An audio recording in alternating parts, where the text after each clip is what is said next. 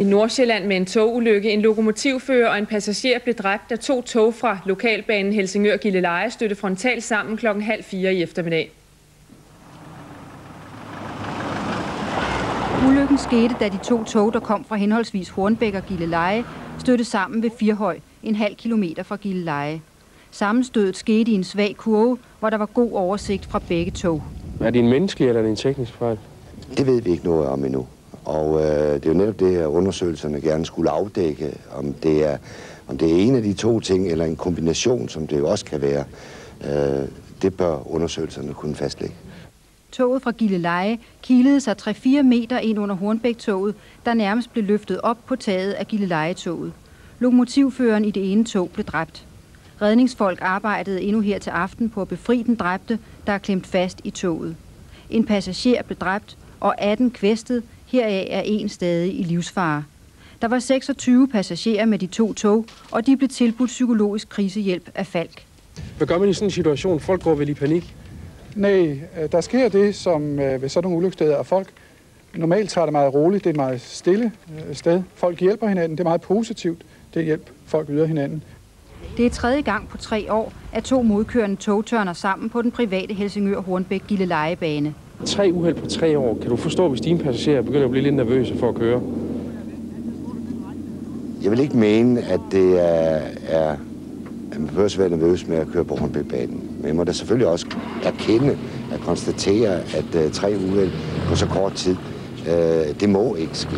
Ulykken i Nordsjælland i går foreslår trafikminister Bjørn Vest nu, at sikkerheden på privatbanerne kuglegraves.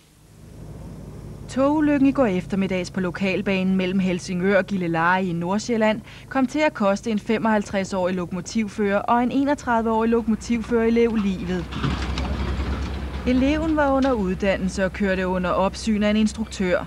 Instruktøren nåede at løbe bagud i toget umiddelbart inden ulykken. I alt blev 10 mennesker kvæstet. Det er ikke første gang, der sker ulykker på togstrækningen, som er enkeltsporet. I 1972 støtte to tog sammen på samme ulykkested ved Firhøj station. Ingen kom dengang til skade. Sidste år blev 10 passagerer kvæstet ved et frontalt sammenstød ved Grønnehave station i Helsingør. Og i 1994 kom 28 personer til skade, da to tog støttede sammen på Ålsgård station. Og de mange togulykker får nu trafikminister Bjørn Vest til at kræve, at sikkerheden på privatbanerne tages op til revision. Jeg vil have vendt hvert en sten i det her. Vi skal have lavet en gennemgribende undersøgelse af sikringen på den jernbane. Det er ikke normalt for jernbaner at have så mange ulykker. Gårdsdagens ulykke skete, da to tog, der kom kørende fra henholdsvis Hornbæk og Gilleleje, støtte frontalt sammen lige vest for Firhøj station. Normalt skal de to tog krydse hinanden ved stationen, hvor der er dobbeltspor. Men af uforklarlige årsager skete det ikke i går. For mig ser det ud som om, at man kan få behov for et automatisk sikkerhedssystem ved siden af togførens sikkerhedssystem.